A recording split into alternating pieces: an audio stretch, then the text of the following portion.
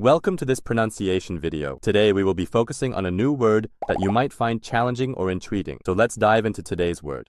Chaegeneun, which means in the book in Korean. Let's say it all together. Chaegeneun.